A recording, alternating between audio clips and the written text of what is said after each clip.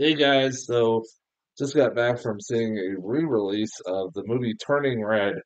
You know, this movie's a few years old. I said in my previous video, uh, the reason why I'm reviewing this now is that uh, Pixar and Disney decided to re-release this into theaters for the first time.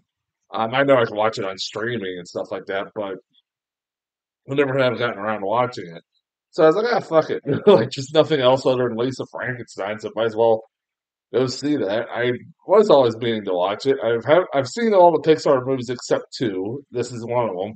Um, they also re-released uh, last month Soul, which I've already seen, so I, I and I re- highly recommend it uh, for anybody who hasn't seen it. I did see it when it when it came out on streaming, but I haven't seen this in Luca. Luca is coming out in a month or so too. But uh, I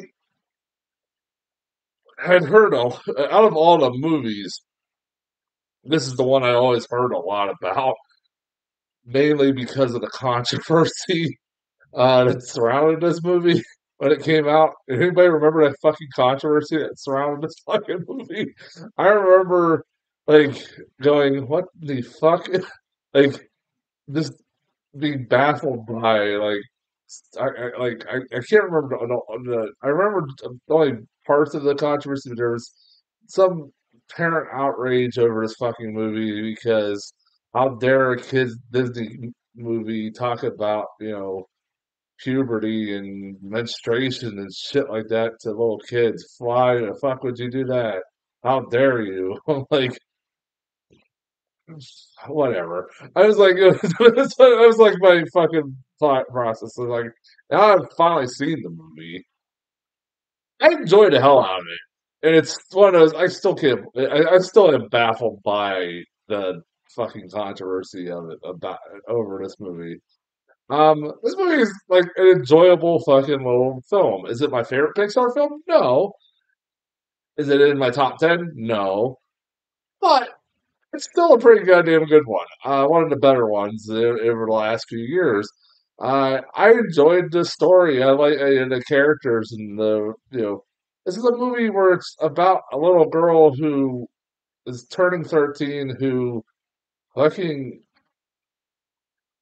whenever she starts to feel emotions or like a normal teenager does, she becomes a big red panda.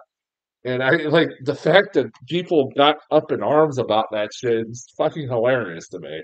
Um, yeah, it's a movie that's obviously an allegory about puberty and menstruation. I mean, literally, they there's a scene where the mom offers her pads because she thinks she's having her period, even though they don't say that flat out in the movie. Uh, they it's it's a it's a goofy fucking kids movie. Like seriously, like you ever notice that the people that call other people snowflakes are the biggest snowflakes of them all? Uh, and like they fucking bitch about every goddamn thing, especially kids movies. God forbid if you had a gay person in a fucking kids movie.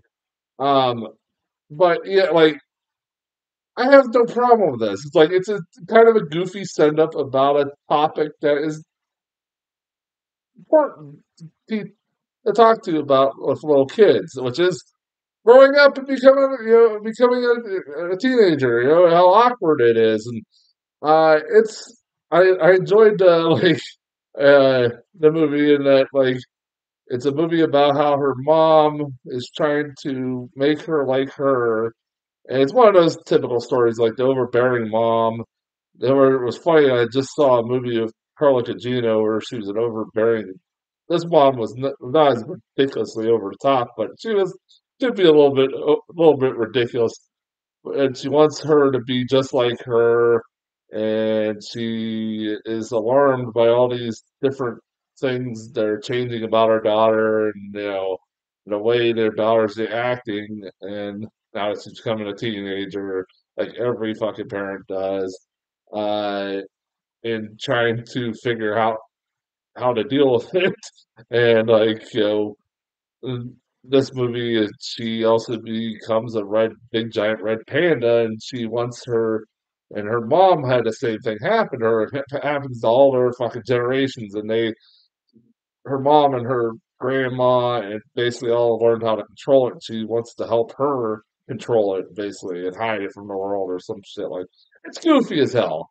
And like I enjoyed the hell out of it for what it was. Yeah, is there the only? I think the only moment I was like, "This is a little awkward," where uh, she's having all the kids in school want to take pictures of her panda, and I'm like, and like she's like, er, spreading her panda around the school or some shit. I heard there's one line. I forget what it was. I'm like, is this supposed to be a weird fucking allegory for sexting? Or am I reading too much into this? That's like this is getting a little weird and awkward. Uh, I don't think you really should teach kids about that, but all right. I mean, it's, this movie's it's it's serviceably passable and fine little movie. I don't understand the people that get up worked up about it. Uh, it's not my favorite Pixar movie, but it's it's definitely an enjoyable one if you haven't seen it.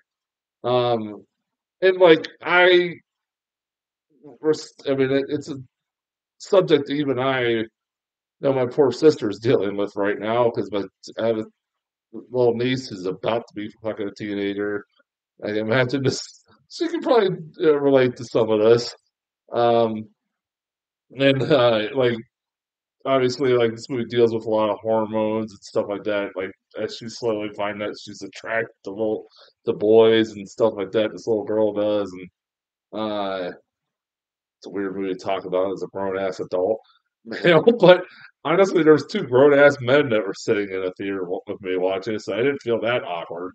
Um, yeah, like I said, it's a per- perfectly serviceable movie. I give it a B. Solid B. It's not my favorite Pixar movie, like I said. Um, I hope I, I know most people have seen this already, but hey, if you liked it, like uh, then well, I, like I just hope that you don't like it just because of some weird. You don't want your kids to learn about menstruation or puberty for a kid Disney movie, and like you take this movie too fucking seriously. Like God, grow the fuck up. Anyways, uh, that's as far as Turning Red goes. Uh, next week, what is next week? Uh, oh, oh God. Bob Marley, One Love, which I was looking forward to, not, but I'm hearing bad things about as the reviews are popping up. And Madame Web. I think we're going to land a bad, I think. But yeah, for sure, Madame Web, Bob Marley, One Love, so yay, me. Uh, until then, I'll talk to you guys later.